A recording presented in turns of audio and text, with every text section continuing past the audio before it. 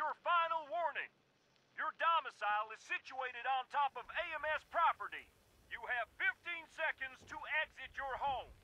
If you do not do so, my men and I are well within our rights to remove you by force.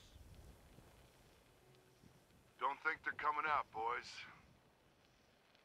Sir, this does not concern you. Please step back. Company boys take our jobs, take our dignity. Now you want our homes too? Yeah, I'd say it concerns me plenty. Sir, I'm going to ask you one more time. Get back in your house. The only people in trouble are the Kaminskis. For now. That's where you're wrong, son.